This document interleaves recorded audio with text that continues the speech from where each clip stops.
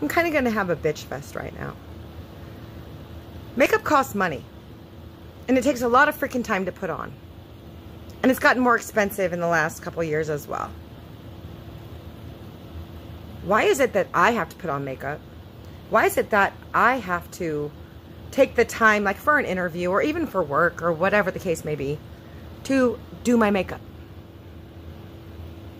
I go in for an eight minute interview after spending an hour and a half to get ready. I'm not saying I didn't get the job or anything like that, but just to hear after like 10 minutes of talking, hey, we'll give you a call next week.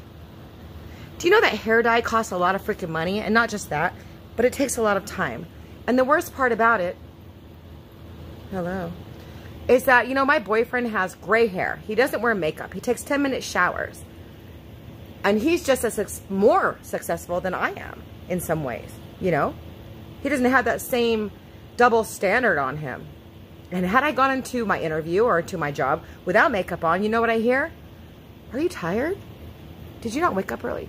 What happened? What, are you okay? And then after all that, the worst actual part about it is that I have to come home after my eight minute interview or my, my job shift while my boyfriend who doesn't have to do makeup, doesn't have to dye his hair, goes and relaxes in front of the television, I gotta go in there and scrub my face to get all this off my face. I am sick of the double standard.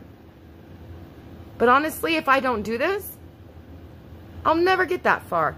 And that is like the saddest thing to me. And I could cry right now. But it's seriously like, when you really think about it, it's pathetic. And if you should be grateful because I'm dubbing out my cuss words on my own. Makeup. Bullshit.